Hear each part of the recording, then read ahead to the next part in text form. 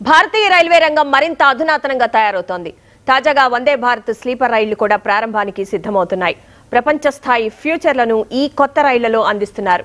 కేంద్ర రైల్వే మంత్రి అశ్విని వైష్ణవ్ బెంగళూరులోని బీఈఎంఎల్లో కొత్త వందే భారత్ స్లీపర్ కోచ్లను పరిశీలించారు.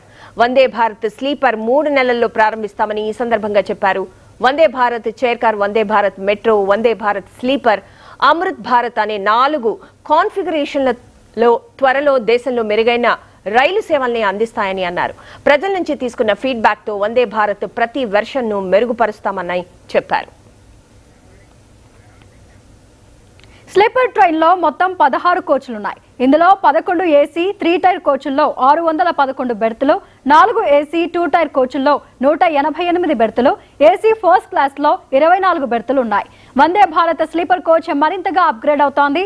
ఇంటీరియర్స్ ప్యానెల్స్ సీట్లు బెర్తులు అన్నీ కొత్తగా ఉన్నాయి. బీఈఎంఎల్ ఎలక్ట్రికల్ ప్రొపెల్షన్ బోగిలు ఎక్స్టీరియర్ ప్లగ్ డోర్లు బ్రేక్ సిస్టంలు హెచ్విఏసీ వంటి కీలకమైన సిస్టంలున్నాయి. గంటకు నూట అరవై కిలోమీటర్ల వేగంతో పరుగు తీసేలా రూపొందించారు.